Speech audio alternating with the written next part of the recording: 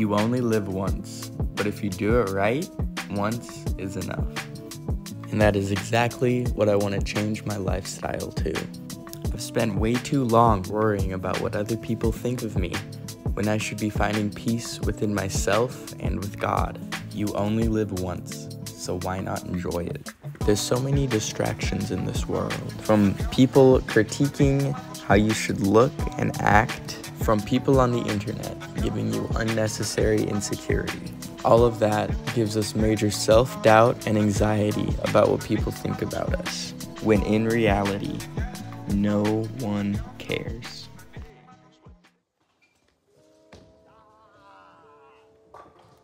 So I recently decided to start living my life to the fullest.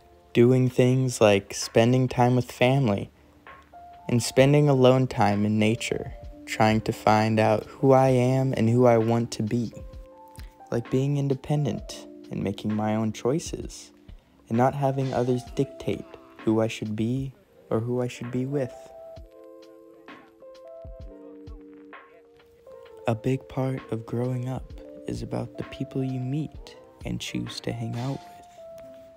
I've realized I don't need the friends that try to change who I really am, and I need friends that motivate me and uplift me, whatever I'm going through. And I encourage you to do that same thing. And I hope that this video can maybe motivate you to do that. So I hope you have a wonderful day.